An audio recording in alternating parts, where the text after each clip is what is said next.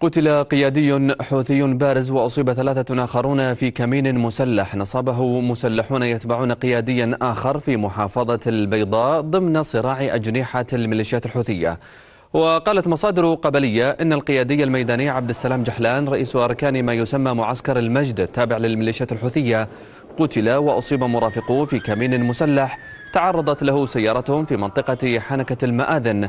وأضافت المصادر أن الكمين نفذه مسلحون تابعون لقيادي أمني حوثي من آل الرصاص والمعين من قبل الحوثيين مدير أمن مديرية مكيراس